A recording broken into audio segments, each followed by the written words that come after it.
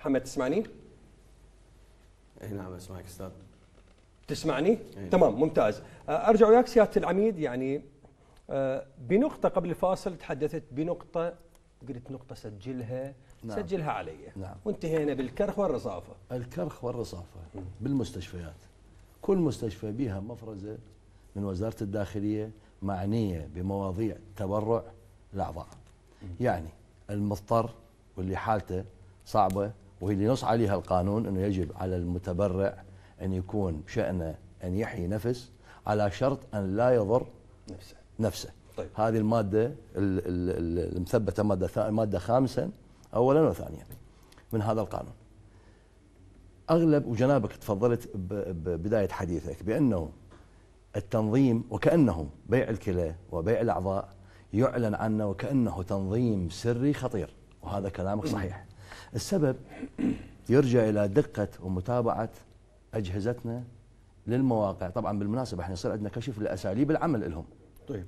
ونبحث وعندنا إحنا وصل العدد إلى 160 186 قضية نظرتها القضاء وأصدرت قراراتها بأحكام شديدة الردع وصلت إلى 15 ما سنة. قوتها؟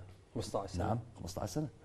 يعني الدكتور اللي يحاول ما يطبق فقرة من الفقرات. إذا كان على جثة يحكم أقل مدة ثلاث سنوات.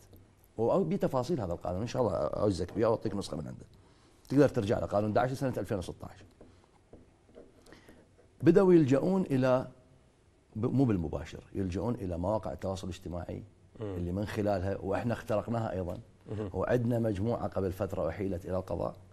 من خلال وسطاء. وأغلب الوسطاء أيضا هاي معلومة لحضرتك وللسادة أغلب الوسطاء هم متبرعين. تستهوي الفكرة؟ يتبرع؟ أكثر. نعم. يبدي يدخل وسيط لأنه هو كان ضحية بالبداية. تحول إلى وسيط.